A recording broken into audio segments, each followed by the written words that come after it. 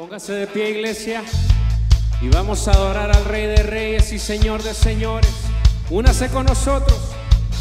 Glorioso. Te cantamos glorioso. Lo gritamos, Cristo te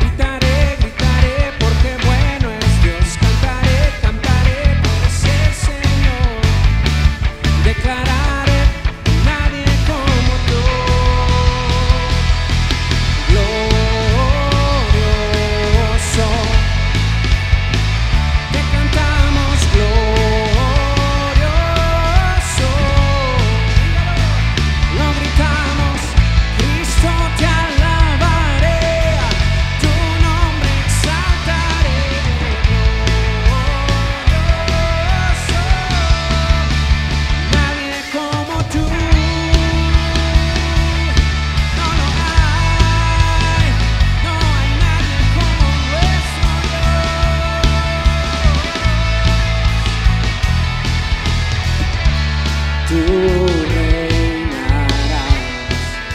Por siempre y siempre tú